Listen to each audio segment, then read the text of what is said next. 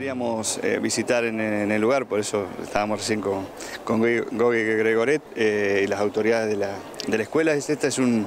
un, equipamiento que se colocó desde la Secretaría de Estado de Energía. Nosotros, una de las, de las áreas eh, importantes, todo lo que tiene que ver con energías renovables, que le dio un hincapié especial el, gobernador al, al, gobernador Bonfatti al inicio de, su gestión, donde eh, no solamente eh, se, colocaron, primero se habían colocado en, Rosario y en Santa Fe y ahora lo estamos haciendo en los,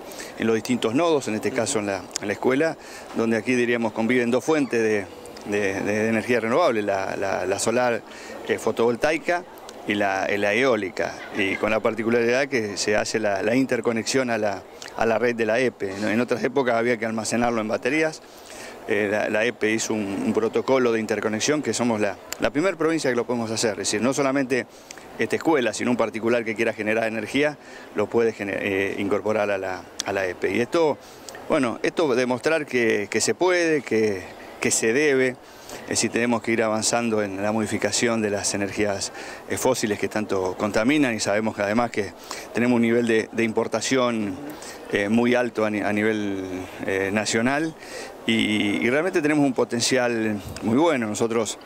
estamos haciendo mediciones en solar en, toda la provincia, se, instaló juntamente con la Universidad Nacional del Litoral y el CONICET un equipamiento en cinco estaciones de la EPE, es decir, en Tostado, aquí en Reconquista, en el ISA, en Carlos Pellegrini, Cañada Rosquín, perdón, y, Firmat, que es un equipamiento tipo estación meteorológica, que tiene un panel solar que mide la potencia solar y también tiene pequeño molino que nos permita eh, de, viento que mide la, velocidad, eh, la dirección de los, de los vientos. Esto como tiene un alcance de 200 kilómetros nos permite que eh, hacer una medición eh, al momento y todo centralizado que uno a través de la, página, de, la web podemos eh, acceder en forma, en forma directa y nos va dando una historia del potencial solar en cada uno de los, de los lugares. Esto es